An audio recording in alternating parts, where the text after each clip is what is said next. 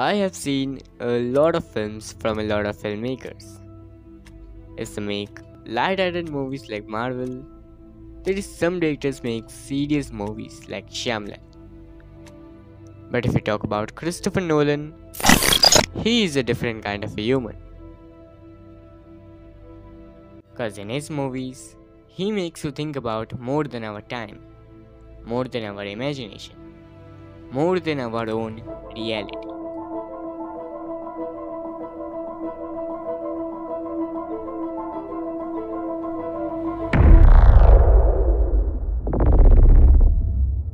What's one thing that bind all of Christopher Nolan movies together? It's not that mind-bending plots, or special effects, or Michael Caine. It's time. How deep does this motif go?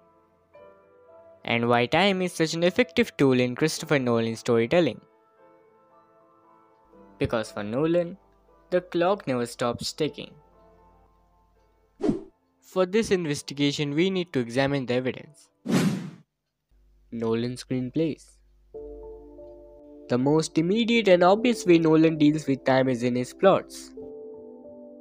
In many ways, Nolan tells his story as a puzzle. One of his favorite storytelling devices to play with past, present, and future. And often present them out of chronological order, forcing the audience to piece them together. Dunkirk has three plots, told in three different timelines.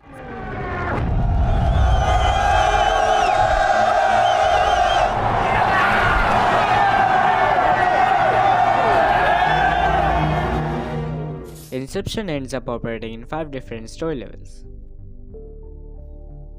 Memento is told backwards. And forwards. Everything up until my injury, I just can't make new memories. This allows Nolan to deploy information strategically. I'm here. That's basically the end of the movie. This stuff is the black and white stuff. This is color, and this is running backwards as a series of jumps. And what we do is we cut between the two the whole way through.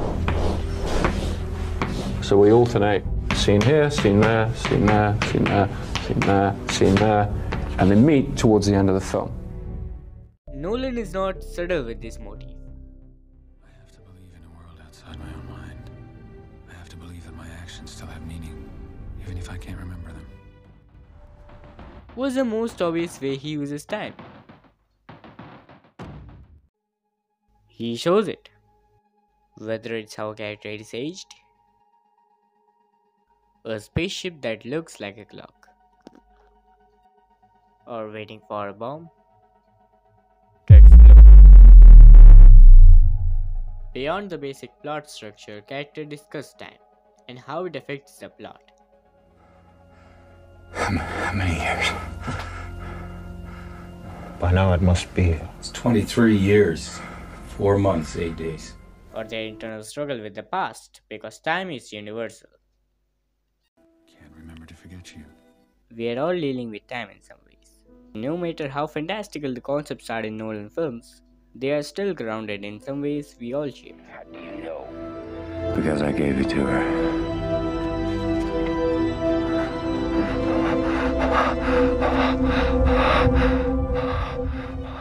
Nolan doesn't stop with dialogues and props. He edits time, is in his films.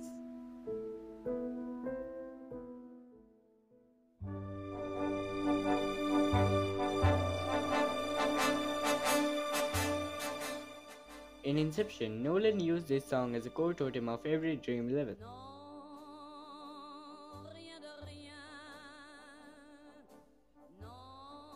Even the music goes more deeper with every level. And that brings us to a secret weapon of Nolan Hans Zimmer.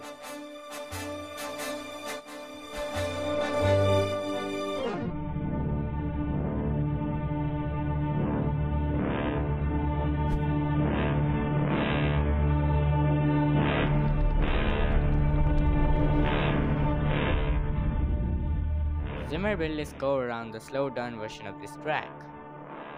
The speed and time with the music, just like the band, is dramatically slowed down for intensity.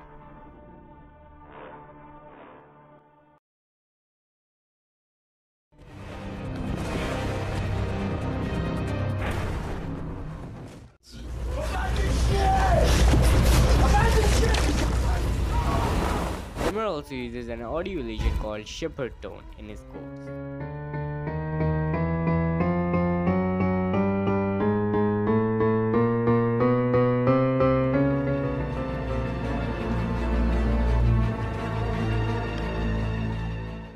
With its seemingly endless rise in pitch, the tension has been compounded as the three storylines converge.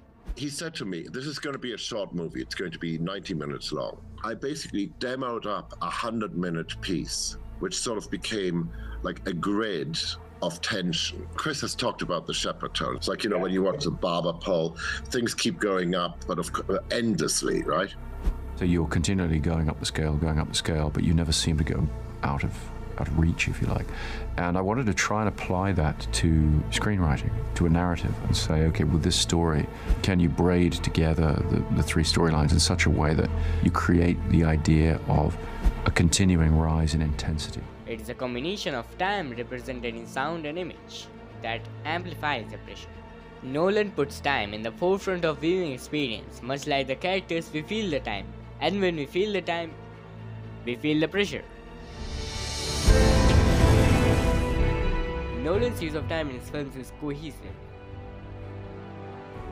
It's a great example of unified storytelling, in which each element perpetually reinforces the others. The fragmented narratives pull us in. The sensory input of time from the sounds and images makes us feel the time, and aligns us with the characters who are also dealing with the effects of time.